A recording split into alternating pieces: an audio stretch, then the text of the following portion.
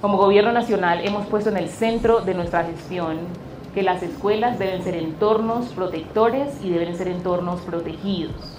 Y de manera específica en las acciones que corresponden a la prevención, en la lucha contra la trata de personas y las acciones para hacerle frente a la explotación sexual comercial de niños, niñas, adolescentes y jóvenes, es fundamental que la sociedad pueda acompañar al Ministerio de Educación y a todas las instituciones para garantizar que tenemos esos entornos protectores. El Ministerio de Educación Nacional está desarrollando modelos educativos flexibles que nos permitan garantizar unas estrategias de acceso y protección. Estamos desarrollando una serie de acciones en función de protocolos de prevención de violencias basadas en género para garantizar que esta acción de protección pueda cumplir con las rutas correspondientes.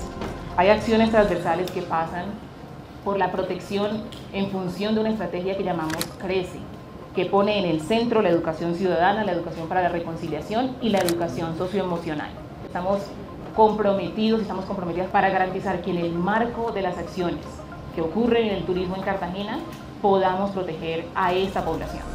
Esta estrategia de entornos protectores tiene múltiples enfoques. Por un lado, atendemos y le hacemos el frente al impacto que tiene para los niños y las niñas que están en esas redes. Estamos trabajando con la Secretaría de Educación, estamos trabajando con las instituciones para proteger a estos menores.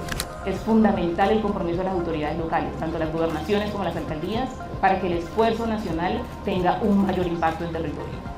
De manera específica hay una estrategia que se llama Barullos de Género desde las escuelas, que la entidad territorial está potenciando y que es fundamental que toda la sociedad conozca y ayude hacer caja de resonancia para comprender las narrativas de protección de estos menores.